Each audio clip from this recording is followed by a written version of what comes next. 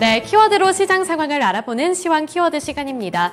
PC 물가지수 그리고 고용 보고서를 앞두고 있는 금요일입니다. 9월의 첫 번째 거래일, 오늘 양 시장 모두 관망세가 짙게 나타나고 있는 상황인데요.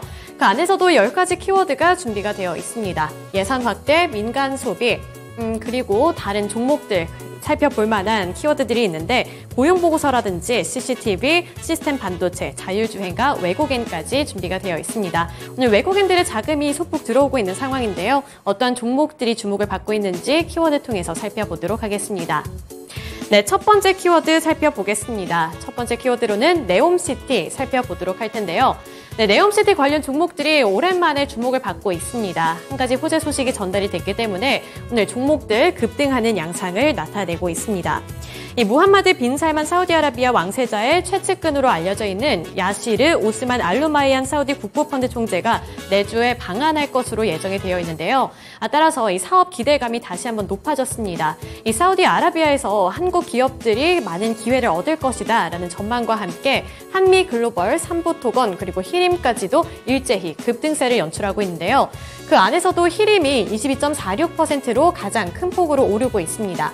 또 삼보토건도 10.49%, 한미 글로벌도 15.34% 상승하는 흐름을 나타내고 있는데 가장 많이 오르고 있는 히림의 주가 차트만 살펴보도록 하겠습니다. 이 사우디아라비아에서의 네옴시티 이슈가 불거질 때마다 급등을 했던 종목인데 아, 최근에는 사실 탄력을 많이 잃었습니다. 9,570원 선에 터치를 한 이후에 그 다음부터는 특별한 모멘텀이라든지 새로운 이슈가 부재했기 때문에 이렇게 하락하는 그래프를 그려 나갔는데요. 아, 이번 달 들어서도 사실은 횡보하는 주가 흐름을 나타내 주다가 오늘 이렇게 이슈에 따라서 급등하는 양상을 나타내고 있습니다. 8,140원에 거래되고 있습니다.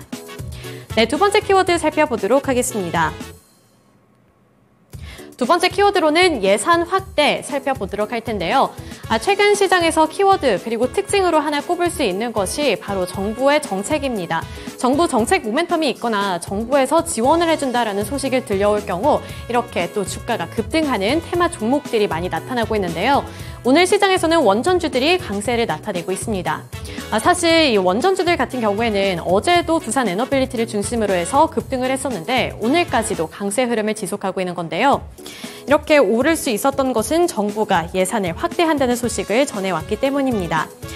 어, 전날 상업, 산업통상자원부에 따르면 내년에 원전 부문 예산은 중소와 중견기업 지원, 수출, R&D, 원전 해체, 방사성 폐기물 관리 등에 걸쳐서 전방으로 확대가 될 것으로 보이는데요.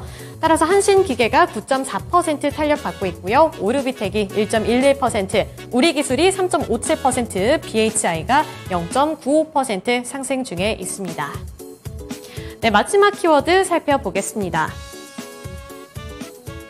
네, 마지막 키워드로 로봇 살펴보도록 할 텐데요. 최근에 또 한 가지 잘 가고 있는 섹터 중에 하나가 바로 로봇 관련 종목들이죠. 어제도 AI를, 반, AI를 비롯해서 로봇 관련 종목들 일제히 급등하는 양상을 나타냈는데 오늘 같은 경우에도 대표적인 종목들이 수혜가 예상됨에 따라 급등하고 있습니다. 그 중심에는 삼성전자의 이슈가 있었는데요. 어, 이렌시스를 비롯해서 레인보우 로보틱스는 삼성의 로봇 사업 기대감이 지속되면서 이렇게 급등하는 양상을 나타내고 있습니다.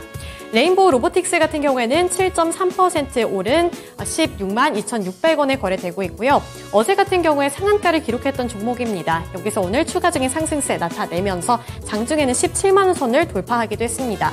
삼성전자와 가장 직접적으로 연관성을 갖고 있는 기업이라는 점 확인해 보셔야겠고요.